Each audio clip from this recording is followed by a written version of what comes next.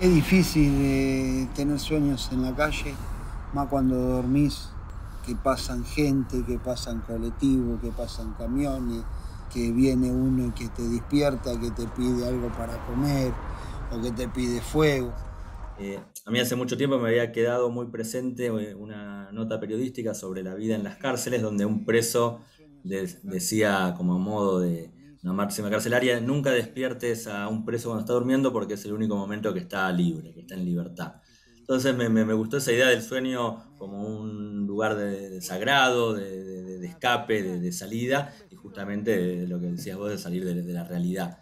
Entonces me empecé a preguntar un poco qué sucedía con las personas que están en situación de calle, esto es 2018, por ahí, donde había muchísimas personas o cada vez más personas eh, viviendo en situación de calle en la ciudad de Buenos Aires, pensando que también la, ciudad es como una, para la gente que está en situación de calle, es una cárcel con las puertas abiertas, ¿no? Porque están, viven ahí, es muy difícil salir con la mirada discriminatoria, eh, todos sus derechos básicos vulnerados. Entonces me preguntaba si sucedía algo parecido y si era posible en la calle llegar a, dormir y a, soñar. Entonces a partir de, esa premisa salí a eh, al encuentro de personas en situación de calle, por lo general acompañada con organizaciones o entidades que trabajan día a día esta problemática.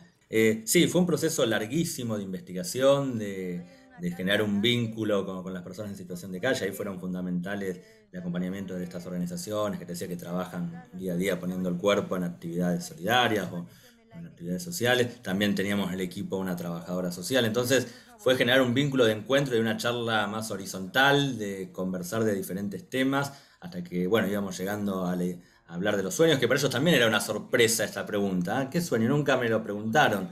Que un poco es la idea. Eh, me parece que en esos sueños sale mucho más verdad que a veces en una pregunta periodística más clásica, más incisiva, que hace un medio de comunicación masivo. ¿no? Entonces eh, fue un trabajo de llegar a ese clima de confianza y pasar diálogos, de tiempo compartido con ellos para el momento de prender la cámara eso fluya ¿no? y sea como eh, aparece en, la peli que uno está escuchándolos y hay una intimidad ahí compartida.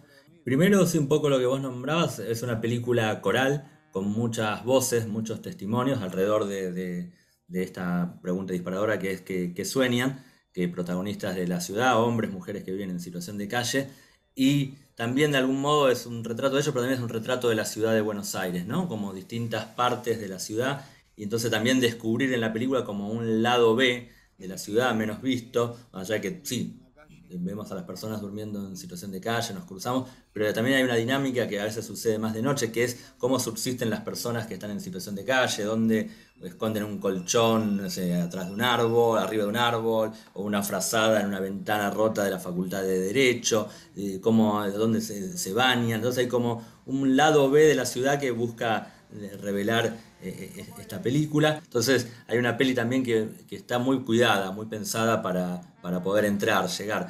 Como que es un tema duro, difícil, pero alguien una hora atrás, un espectador me decía, eh, es como una película, es difícil decir, qué película interesante, linda, cuando es un tema tan duro, y me decía, pero, pero es como una poesía, ¿no? Las poesías a veces hablan de temas, no sé, de la muerte, pero lo hacen de un modo que uno entra y llega. Entonces la película invita a ese recorrido sin golpes bajos, sin una mirada lastimosa, sino, bueno, entremos y escuchemos. Se estrena este jueves 27 de, febrero, de 19.30 horas, en el Cine Gomón, que queda en Congreso, en Rivadavia 1635. Va a estar seguro en cartelera desde ese jueves 27 hasta el miércoles 2 de febrero, todos esos días a las 19.30 en el Cine Gomón.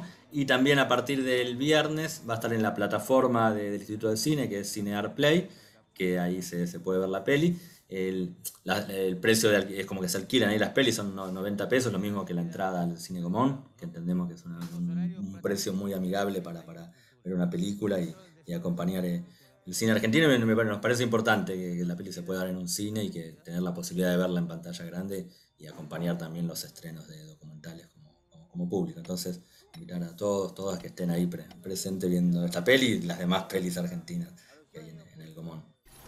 No le doy mucha, mucha relevancia a los sueños porque al menos que yo sepa no me sirven para nada. Porque soñar todos los días con la misma persona o con cosas parecidas es molesto. A veces tomo pastillas para dormir, para, para, no, para no soñar.